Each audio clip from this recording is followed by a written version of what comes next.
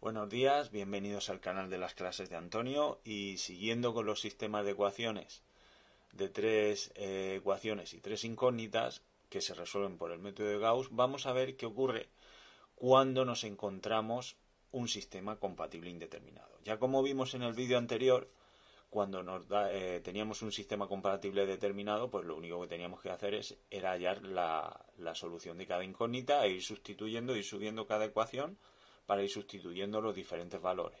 ¿Vale? Ahora, mirad, ¿qué ocurriría si nosotros al resolver el sistema nos encontramos que la última fila nos da todo cero? Pues lo que nos daría sería un sistema compatible indeterminado. ¿Qué quiere decir ello? Que puede tener infinitas soluciones. Para ello va a entrar en juego un valor y es el valor lambda. ¿Vale? Que será el valor que le daremos a la incógnita que se nos quede aquí, que en este caso siempre suele ser la z, ¿vale? Pues sin más dilación vamos a intentar resolver el problema. Ya sabéis que se resuelve como explicamos en el, en el primer vídeo. Primero que hacemos va a ser escribir los coeficientes, 2, 1, 1 por aquí, 5, 2 menos 1. Mucho cuidado con los signos. 3, 3, 3, 2, 1 y 8. ¿Vale? El primer caso que voy a hacer, pues mirar, voy a, a la fila 1, le voy a restar la fila 2. ¿Vale?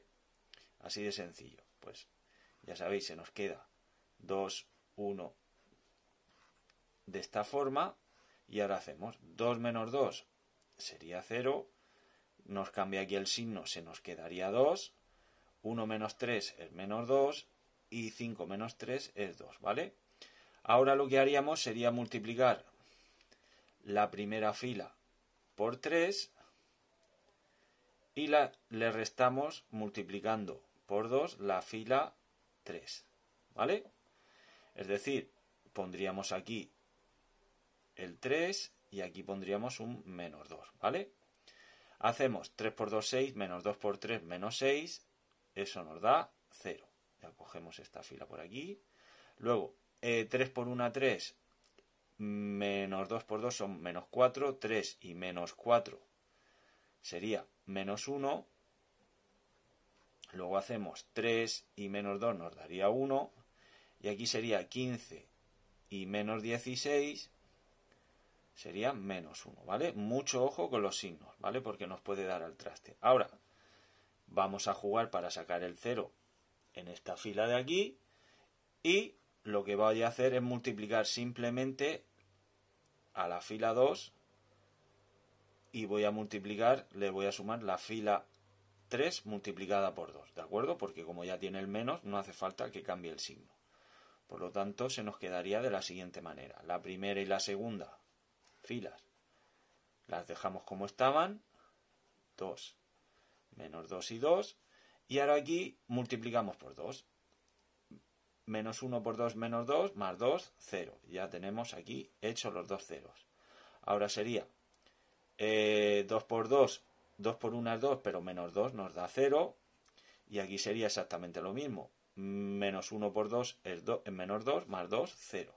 Como veis, se nos queda como el modelo que habíamos descrito y por lo tanto tendríamos sistema compatible indeterminado. Ya os digo que como no hemos cambiado ninguna columna, ya sabéis que la primera columna son las X, las Y, la segunda y la Z la tercera, ¿vale? Por lo tanto, este es el paso diferente al sistema compatible determinado. ¿Qué es lo que hacemos ahora?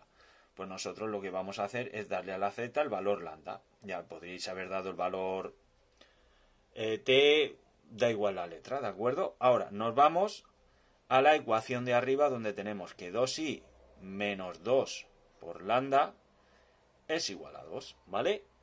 Ahora lo que tenemos que hacer es despejarla y se nos quedaría 2i es igual a 2 más 2 lambda y en este caso, mirad, tenemos la suerte de poder simplificarlo todo por 2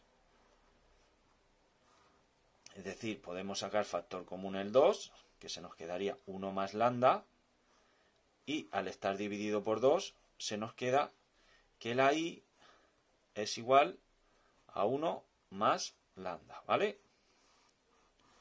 Eso sería la y. Y ahora nos vamos a la x, que tendríamos que sustituirlo en la primera fila, y sería 2x más 1 por 1 más lambda, más lambda, que es la z, es igual a 5. ¿Vale? Y ahora lo que tendremos que hacer pues sería 2x más 1 más lambda, porque al multiplicarse por 1, más lambda es igual a 5. Pues mirad, si juntamos, se nos quedaría de la siguiente manera. 2x más 2 lambda más 1 igual a 5. Lo pasamos todo al mismo sitio y se nos quedaría que 2x es igual a 2 lambda menos 2 lambda, perdón, y el 1 que pasa restando al 5 se nos quedaría más 4. ¿De acuerdo? Como veis, podemos sacar factor común, el 2, y se nos quedaría 2 eh, por menos lambda más 2. ¿Vale? Pasamos ahora a la x dividiendo y lo que vamos a conseguir es que se nos quede la ecuación, el valor de la x totalmente simplificado, ¿vale? Entonces ya tenemos nuestros tres valores, ¿vale? Eso serían así. Y ahora os voy a explicar por qué tiene infinitas soluciones, porque mirad, si yo digo qué valores tendrían la x y la z para lambda igual a 0 y vamos a hacerlo y para lambda igual a 1 o para lambda igual a menos 1. Por eso tiene, podemos dar los valores que nosotros queramos. Mirad, nosotros se nos ha quedado de esta forma. La i nos ha dado 1 más lambda y la x nos ha dado menos lambda más 2. ¿Vale? Y tomando como referencia estos tres resultados, si la lambda valiera 0, pues nos daría que la z es 0, la y es 1 y la x sería 0 más 2 sería 2. Tendríamos esos tres resultados. ¿Vale? Y si os das cuenta, nos sale bien porque, mirar, 2 por 2, 4, más 1, 5 y la z es 0, nos da ese valor, ¿vale? Ahora, ¿qué sería para lambda igual a 1? Pues la z nos valdría 1, luego la i sería 1 más 1 sería 2 y la x sería menos 1 más 2 sería 1. ¿Vale? Y estos serían los tres resultados. ¿Y qué ocurriría para lambda igual a menos 1? Pues exactamente lo mismo. Cogemos y sería que la z nos vale menos 1,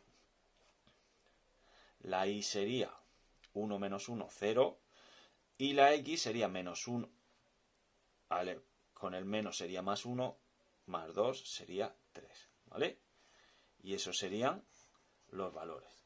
Pues ya sabéis, siempre que hagamos Gauss y se nos quede la última fila todo ceros, lo que tenemos que hacer es siempre dar el valor imaginario o, bueno, sí, imaginario que sería lambda. Por eso son infinitas soluciones. ¿Por qué? Porque una vez que nosotros hemos sacado los valores de las diferentes incógnitas en función de lambda, nosotros le podemos dar ciertos valores para ver qué resultados nos darían las tres incógnitas. ¿De acuerdo? Cualquier duda que tengáis, me lo decís y en los comentarios o luego en clase. ¿De acuerdo?